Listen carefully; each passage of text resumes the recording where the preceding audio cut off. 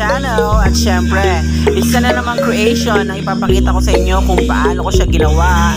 Sit back, relax, and enjoy.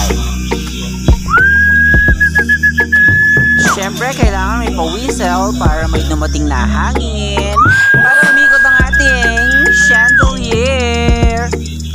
My chandelier, oh my chandelier. Ah, ay mali pala, sorry.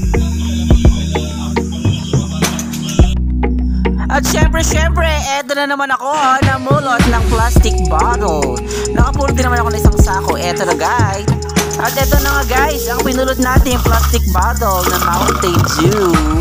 Oh, baka naman Mountain Dew, pa-sponsor naman ng merienda dyan.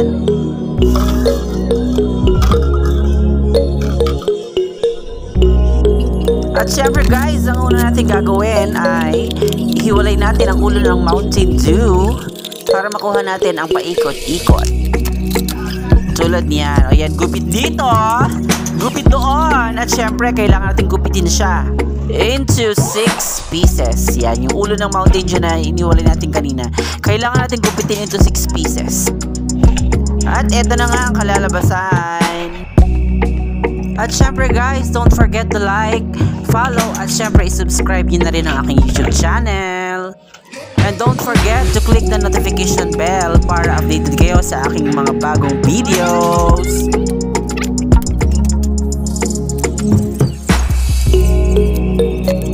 At eto na nga guys, ang 6 pieces na wings. Ganun lang ang unang gagawin.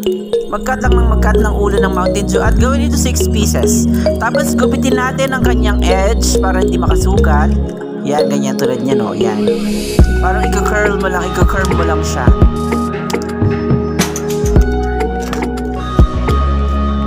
O, oh, diba? Madali lang guys.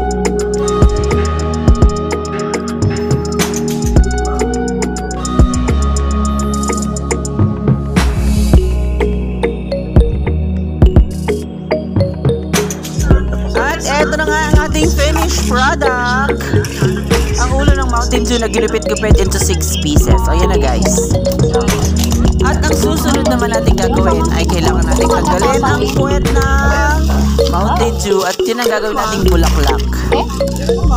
Kailangan natin gumawa ng madaming madami guys kasi med medyo malaki ang chandelier natin for today. Gupit dito. Gupit doon. At eto na nga. At syempre, syempre, don't forget to reuse, recycle, and syempre reduce the waste na nasa ating paligid. Let's have save the Mother Earth para mabuhay pa tayo ng matagal. Ng matagal hanggang gusto natin. O, diba ang saya? Tada! Ito na ang ating Mountain Dew Flower. O, diba? Ang ganda, guys. Make sure na marami kayong gagawin na Mountain Dew Flower para sa ating chandelier. At syempre, kailangan natin ng bilog. Bilog na ring para sa pagkakabitan natin ng chandelier. Kailangan nating balutan ng uh, ng green na ribbon para magandang tignan ang ating ring.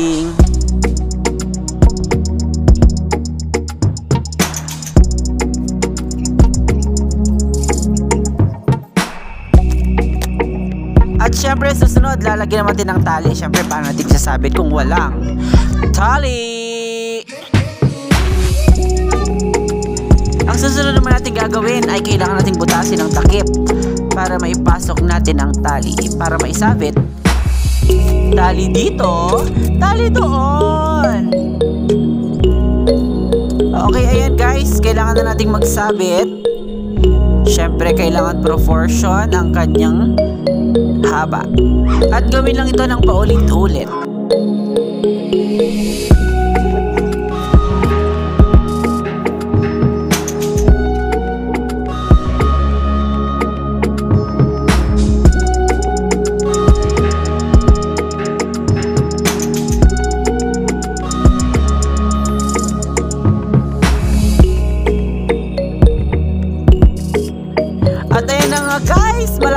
Nating matapos ang ating project.